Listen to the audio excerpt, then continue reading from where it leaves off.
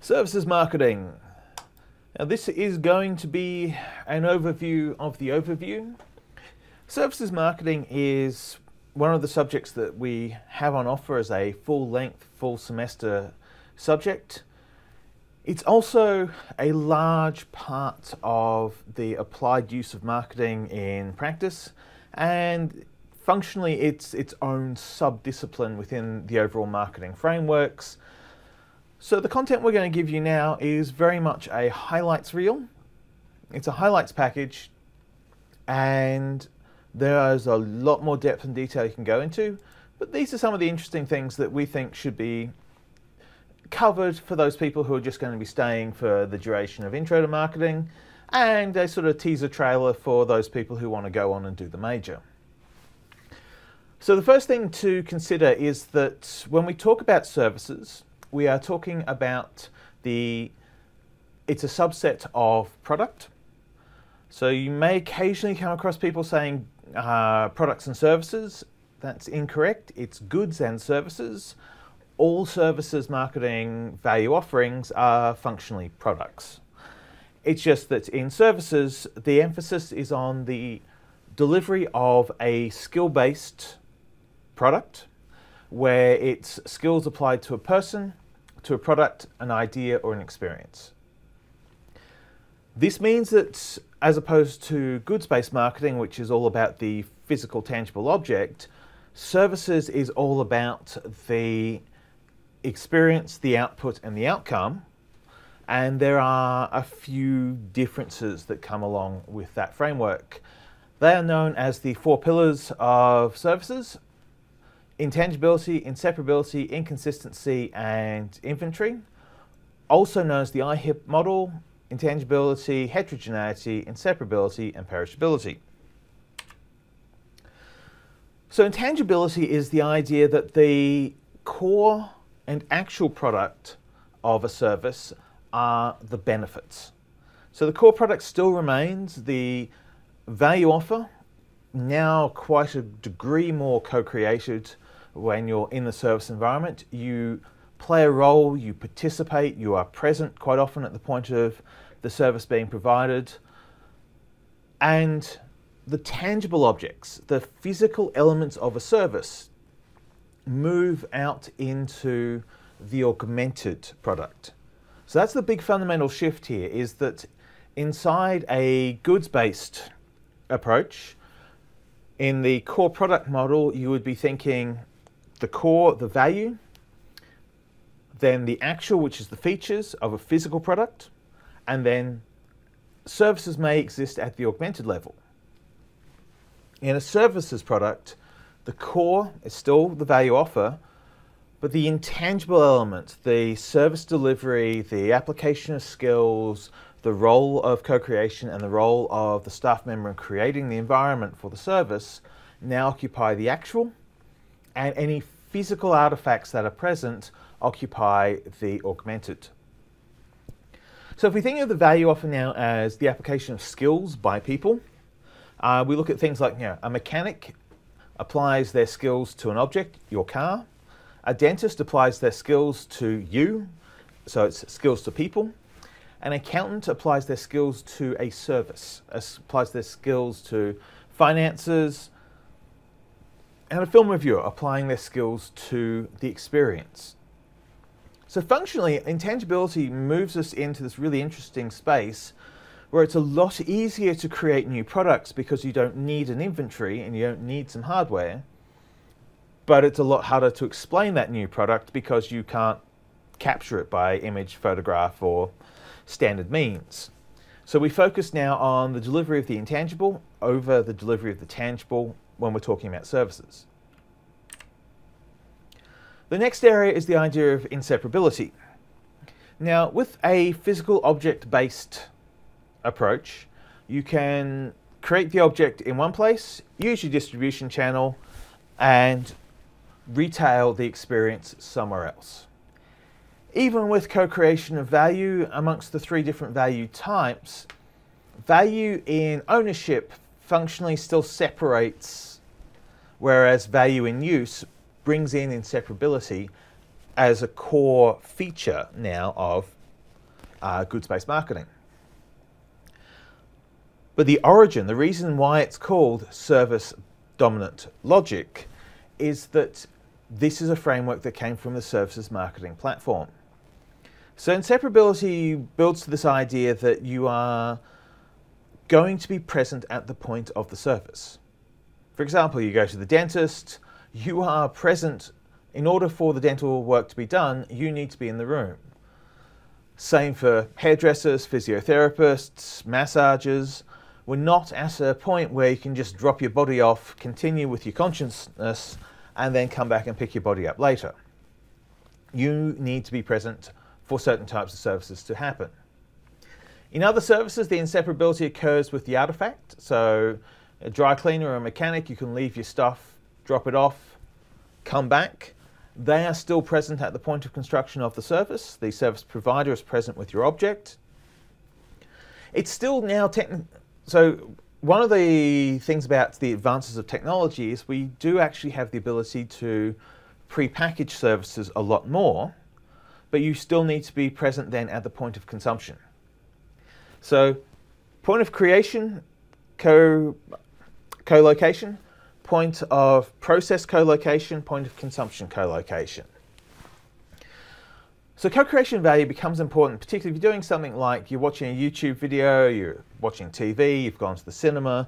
These are all places and spaces and experiences where your presence and your engagement helps become, helps the product to unlock its full value.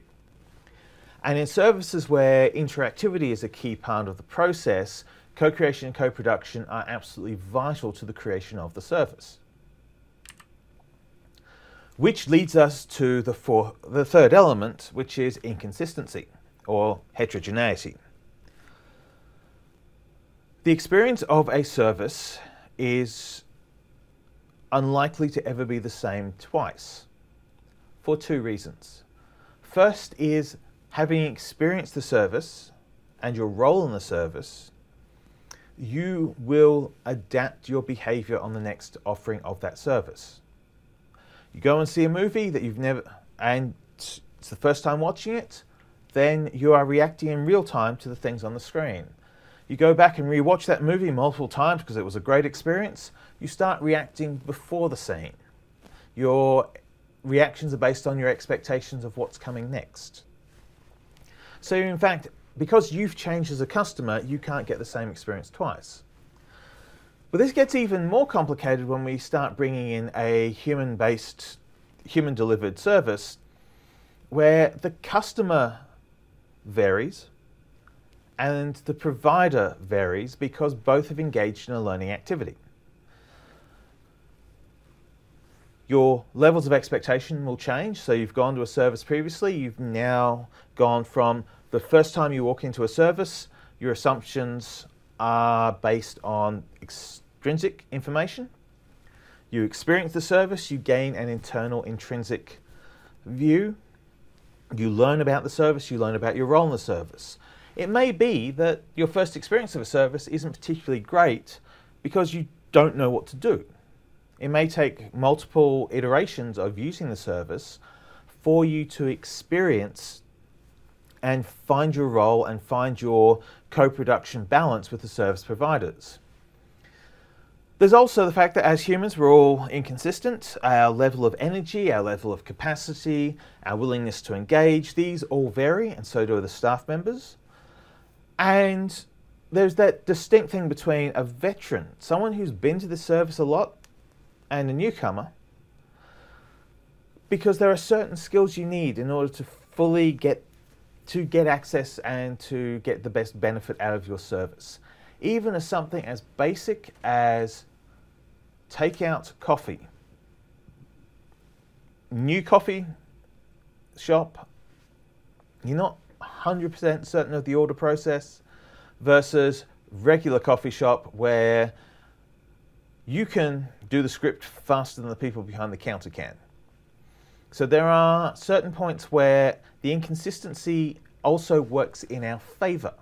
Inconsistency is a benefit.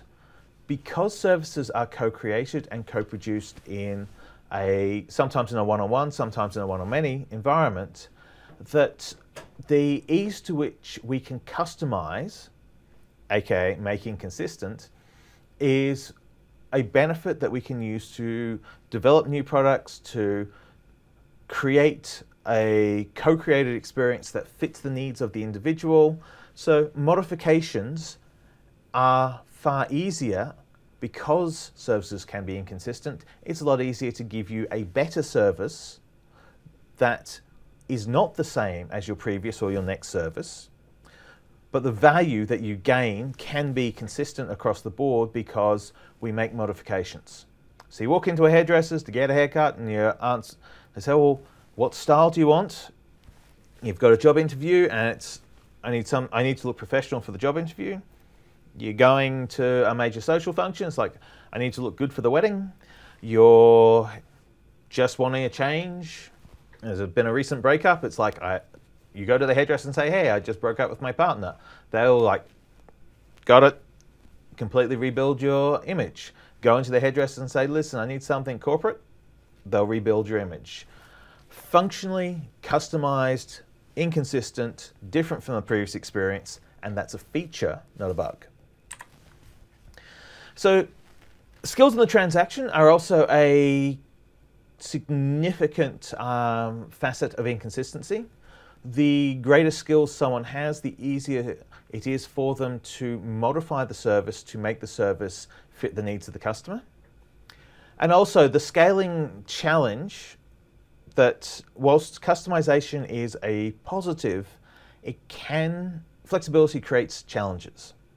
If you are relying on the skills of an individual to create custom experiences, they, people don't scale you need to get multiple individuals in. Everyone's got different, slightly different styles. So there are some challenges. There are some benefits because there's uh, lower inventory um, around custom services, particularly when you're creating a custom service in real time, that you don't need to stockpile many different versions of the service.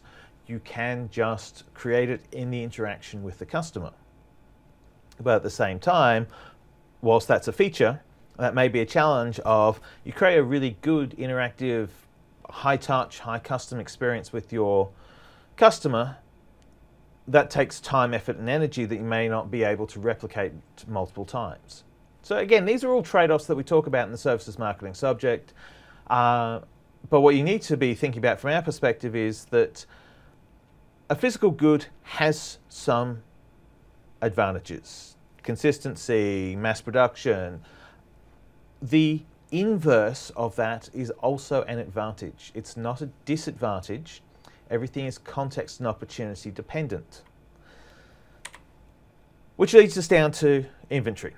You can't stockpile a service.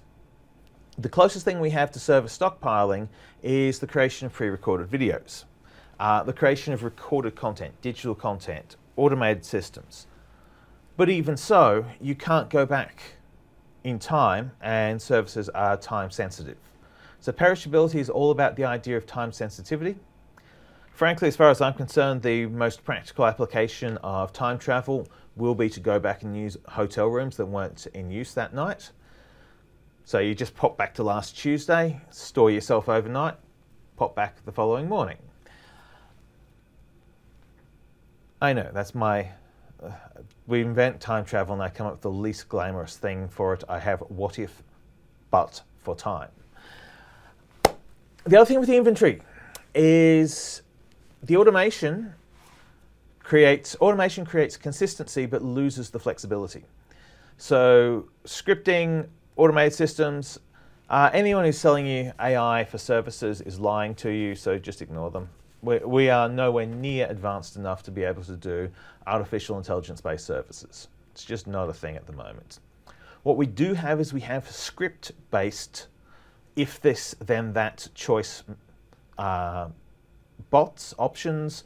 We can have the appearance of artificial intelligence if we have a robust enough script, but basically that's like assuming uh, Fallout 4 had artificial intelligence when it just had a lot of scripting trees. So the key idea, raised this earlier, going to repeat it here to close uh, the loop. The core idea of a service product is that there is a state change. An object, an idea, or a person enters the service and they, they experience some form of state change. The actual product is the skills application by the service provider or their proxy. So an automated service through a machine is a proxy skills application. And the augmented element is the physical evidence that's used in the service delivery or used as an artifact to show a service took place. To that end, services comes with uh, three extra elements of the marketing mix. I just want to briefly point out them here. Stay on your four Ps for marketing for this semester. But your third, your additional three are physical evidence, which is any tangible aspect of the service, the process, which is how the service gets delivered, and the people, those responsible for the delivery of the service. Again, we've got a whole subject that can go into that into detail later.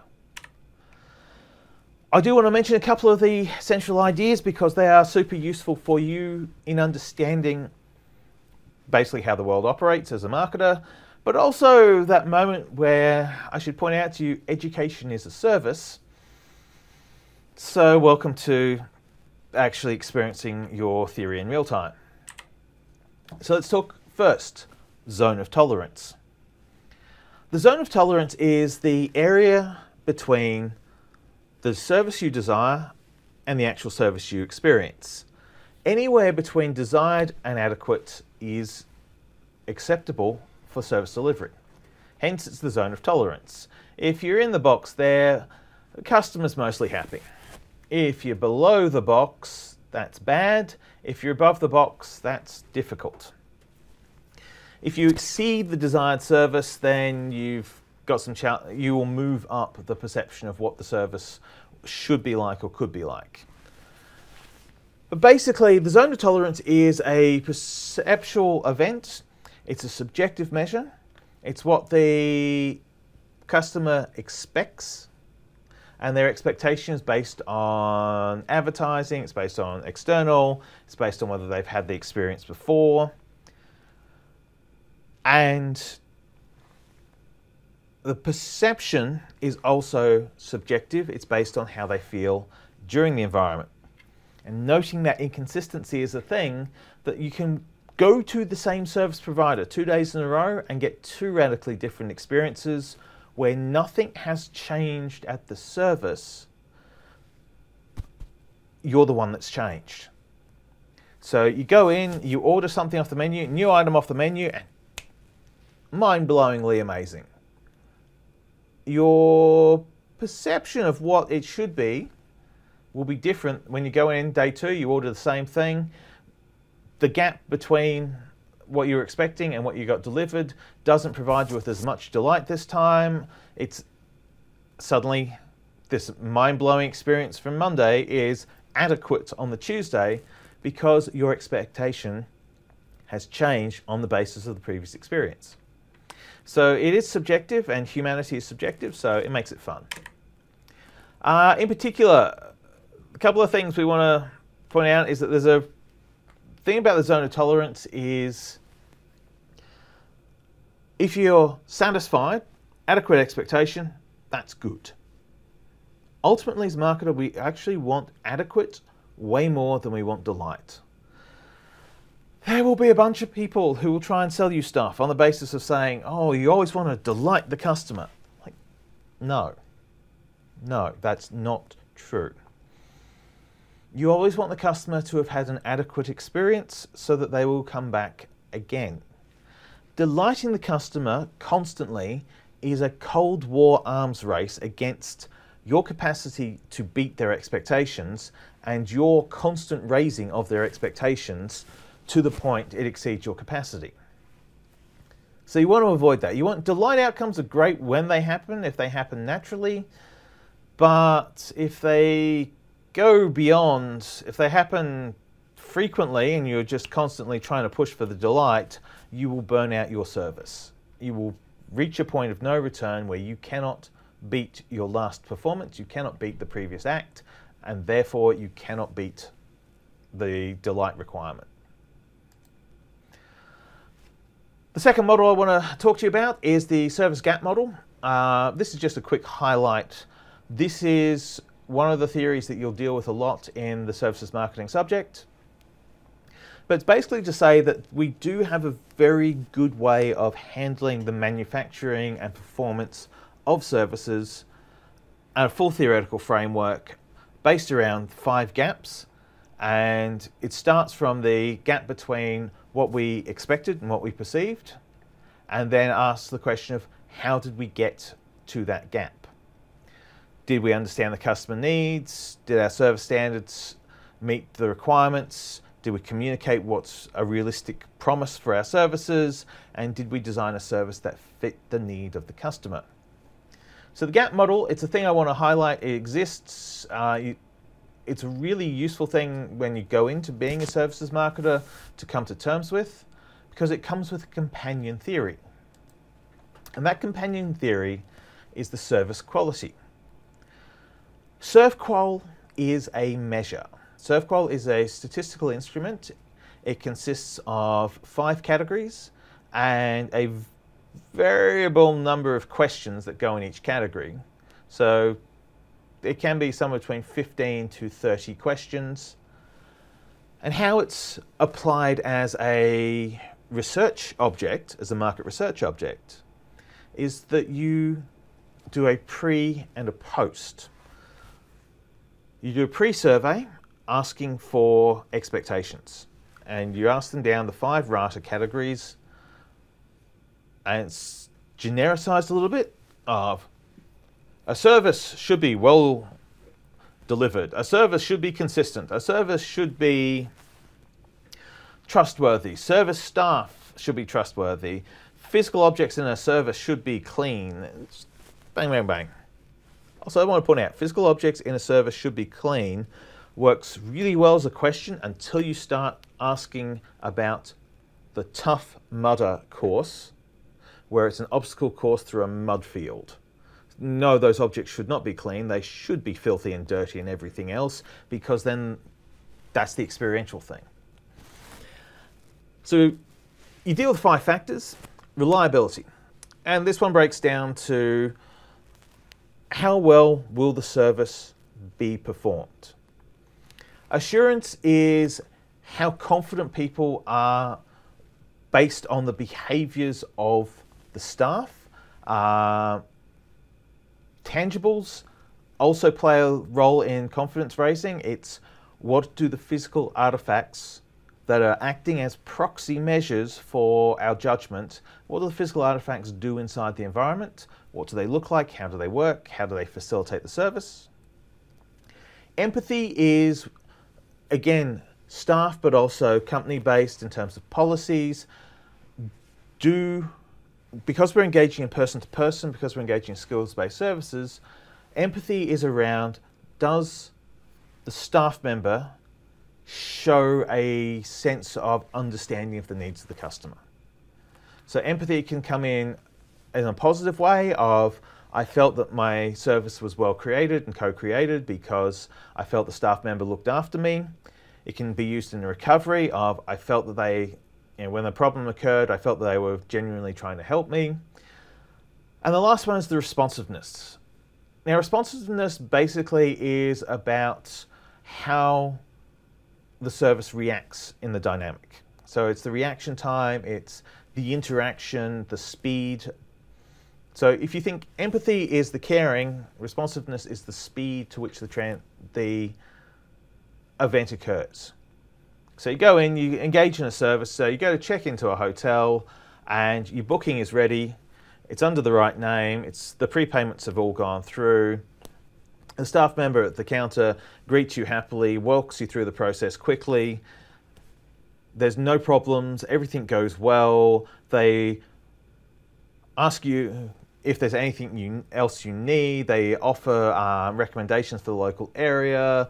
And if you sort of come in saying, okay, yeah, I'm just, you know, I'm jet lagged as or get up, they're like, right, we'll make it quick and get you in through done.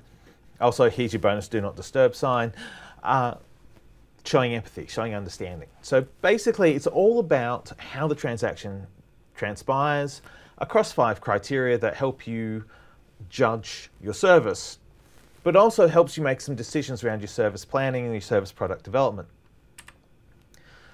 Lastly, the last theory we want to raise is I want to draw your attention to the existence of a concept called Servicescape.